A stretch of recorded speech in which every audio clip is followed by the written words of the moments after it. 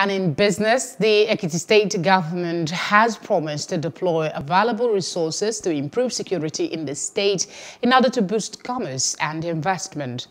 The promise is contained in a communique issued at the end of a two-day retreat organized by the state government tagged Finishing Well and Sustaining Progressive Leadership in Ekiti State. The communique, which was read by the Secretary to the state government, Abiodun Oyebanji, urged revenue-generating institutions in the state to intensify efforts towards enhancing the state's revenue to finance more development projects.